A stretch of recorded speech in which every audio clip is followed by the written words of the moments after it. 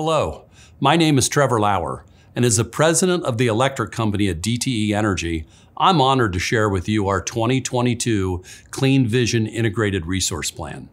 An integrated resource plan, or an IRP, is a comprehensive plan to meet the electricity needs of our customers 20 years into the future. And it details how DTE will deliver this clean energy reliably and affordably to our customers. Throughout this state, energy companies like DTE are required by Michigan law to file an IRP with the Michigan Public Service Commission at least every five years. And as part of this process, it was important for us to listen to our customers and stakeholders so we could build the best plan possible for you. So over the past year, we've held numerous public open houses, we've incorporated direct feedback from our customers, and we've collaborated with technical stakeholders. Through our planning process, our number one goal was generating clean, reliable electricity that is affordable. And we'll achieve this goal through a balanced and diverse mix of energy, including Michigan-made renewables, nuclear, and natural gas. Thanks to this balanced and diverse approach, we will surpass our previously announced carbon emission reduction goals by targeting 85% reduction in 2035 and 90% reduction by 2040. This puts the company on solid footing as we achieve our ultimate goal of net zero carbon emissions by 2050.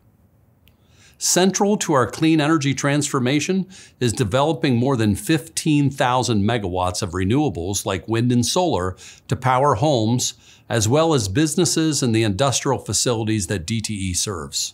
This renewable energy generation is equivalent to the electricity needed to power approximately 4 million homes.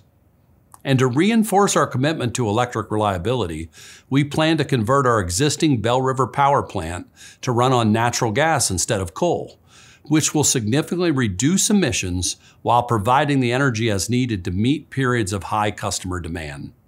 We're also really proud that this plan will lead to DTE ending the use of all coal by 2035 through a responsible, phased retirement schedule of our last two coal plants, which will start nearly 12 years ahead of our original plan.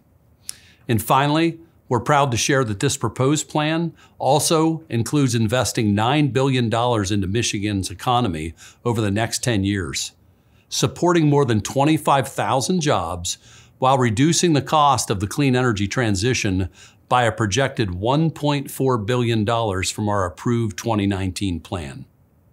Look, we don't expect to undertake all of this plan at once.